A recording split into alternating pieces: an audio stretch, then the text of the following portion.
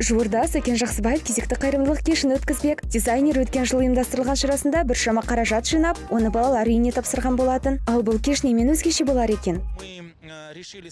Біз қазақтың әдемі ұлттық бас киімін жасасақ па дедік. Олар 12 тал болады екі жарым миллион теңге жиналса деп отырмыз. Ол ақшаға алматының бірінші балалар үйінде тұратын кішкентайларға брекет қойғызамыз. Айтпақшы қайырымдылық кешінен тыс сәкен жаңа топтамасында дайындау үстінде дизайнер кезекті коллекциясын нағыз мұздап жүретін жандарға арнап жасауда.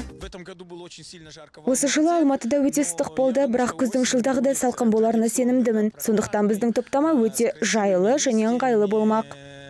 Иә жақсыбаевтың жаңа топтамасында мұздамайтыныңыз анық. Өйткені сәнқой жігіт барынша тырысып бағуда. Біз қара түске күлді өрнектер саламыз. Сондай ақ өте көп трикотаж күрдекшелер болады әрине жастардың талғамына қарай жасаймыз. Ендеше сәкен жақсыбаевтан жаңа топтаманы асыға күтеміз. Мүмкін сәнгерден маған да сәнді киім табылып қалар.